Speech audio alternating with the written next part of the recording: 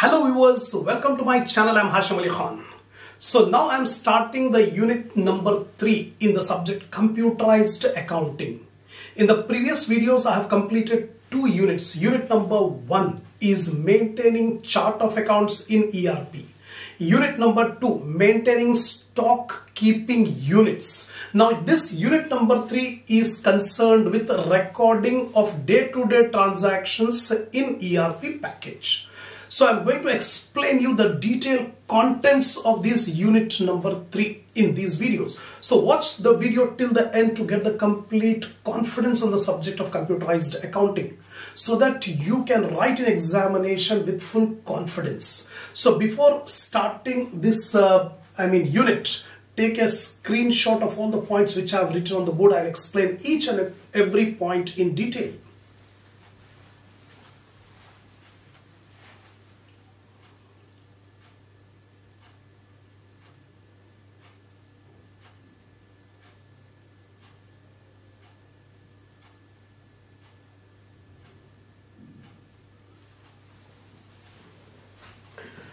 Come on. Now I'm going to start from beginning. What are the contents of this units? Unit, unit number three, that is the recording of business transactions in ERP.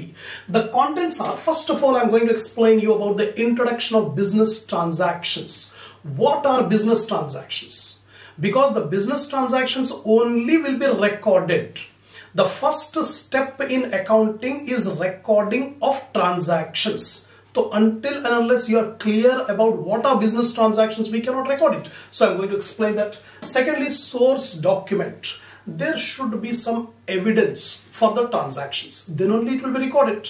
Without evidence, we cannot record the transactions. The evidence we can get from the source document. The important source document are vouchers. So what are the vouchers? These are the invoices, bills or any contracts or any document on the basis of which the transactions are recorded. So recording of transactions in ERP. Then in the package, ERP package, accounting package, how we have to record the transactions that I'm going to explain. Then the trans uh, the vouchers are divided into two categories that is supporting uh, vouchers and accounting vouchers. So accounting vouchers are receipt vouchers then contra vouchers, payment voucher, purchase voucher, sales voucher, debit and credit note voucher, general. Simply you have to remember the functions, function keys. The function keys are from F4 to F9. F4 is the for contra vouchers. This you have to remember. F4 is the contra voucher. Then F5 is the payment voucher. F6 is the receipt voucher. F7 is for journal. F8 is for sales voucher. F9 is for purchase voucher.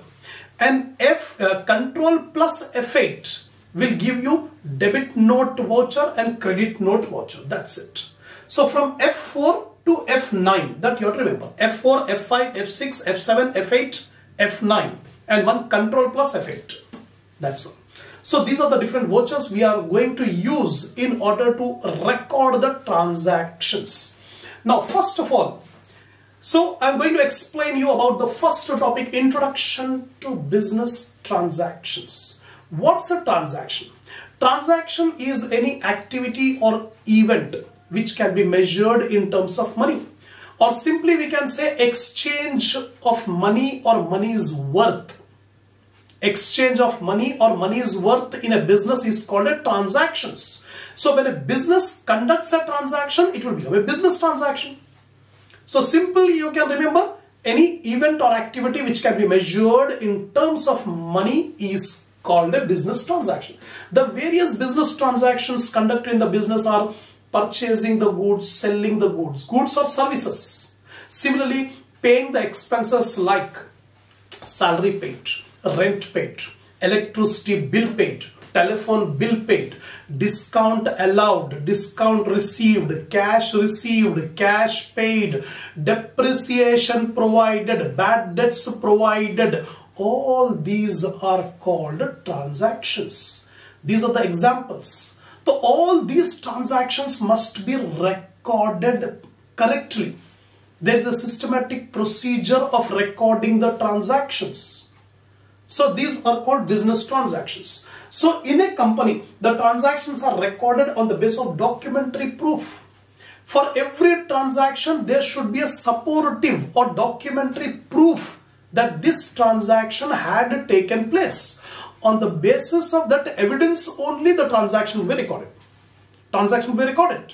Simple example, when goods are sold, when goods are purchased, there should be some document produced. Example, when you go to purchase some goods, like you go to purchase a vehicle, a car you have purchased, a bike you have purchased, you will get the invoice, bill you will get. Similarly, when you go to purchase an electronic goods like air conditioner or television, LED, so definitely you will get one invoice. That invoice, bill, or contract document, these are called documentary evidence. On the basis of this source document, we will record the transactions. So, these in a company, the transaction are recorded on the basis of some documentary proof called the source document. The second point is regarding source document. The source document are the documentary proof of the transaction. On the basis of this source document only, the transactions are recorded. Now, popularly, this source document are called vouchers. So, commonly, the source document are called vouchers. So, vouchers will be the base, basic document on the basis of which the transactions are recorded. So, simply you can say, what are vouchers? Vouchers are the source document Vouchers are the source document on the basis of which the transactions are recorded. The source document shows the nature and amount of the transaction. This source document, that is bill, invoice, etc. This will give you the nature of the transaction and the amount of the transaction. On the basis of that source document voucher only the transaction will be recorded. The vouchers are classified into two categories. So in this package, ERP package, all the vouchers are divided into two categories. That is supporting vouchers and accounting vouchers. So what is supporting? The supporting vouchers are the documentary evidence in support of a transaction which has taken place. These are called supporting transaction. Example, when we buy the goods, we will get the invoice from the supplier. The invoice, uh, the supplier will issue the invoice to us the invoice is a supporting document, supporting voucher. On the basis of this invoice only the transaction will be recorded. Secondly, accounting vouchers. What are accounting vouchers? Accounting vouchers are the supporting vouchers or secondary vouchers. Sorry. It's a secondary voucher. It is a voucher created supporting the this transaction. First voucher, supporting voucher. So accounting vouchers are supporting or secondary vouchers and prepared on the basis of supporting vouchers issued by the third party. Example, the business has decided to purchase a machine. So first of all, a purchase order should be made by the business. A purchase order should be prepared by the business. On the basis of this purchase order, we will purchase the machinery. When we purchase the machinery, we will get the invoice. So invoice is the supporting document, supporting voucher. And this purchase order, what he made, what we made is the accounting voucher. The purchase order, accounting voucher. And invoice, what we get is the supporting voucher. So on the basis of the supporting voucher and accounting voucher, we record the transactions. Now, Tally accounting package contains more than pre-defined vouchers we are focusing on tally accounting package. There are so many accounting packages ready-made as well as uh, tailor-made.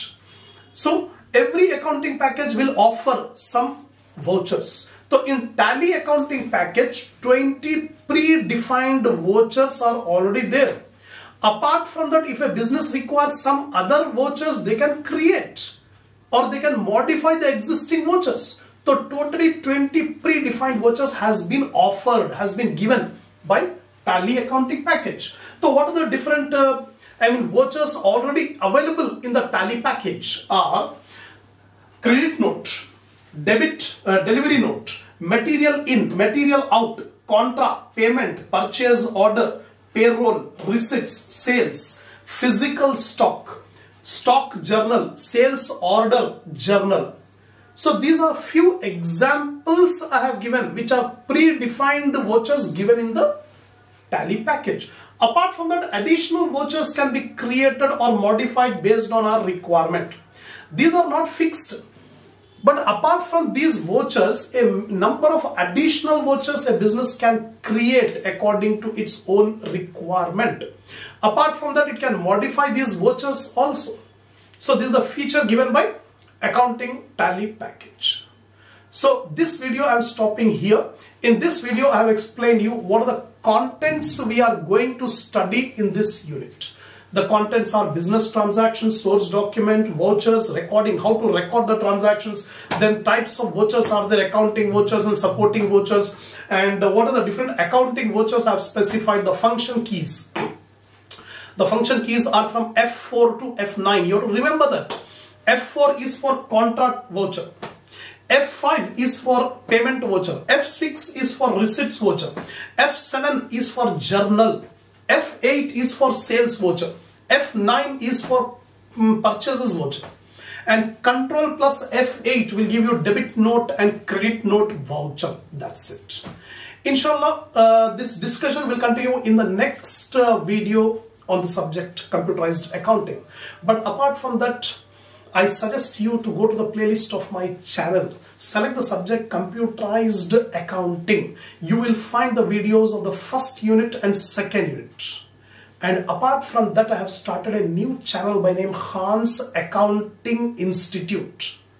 In this channel also I have uploaded many informative, knowledgeable videos which will enhance your knowledge on the subject of accounting, finance and management.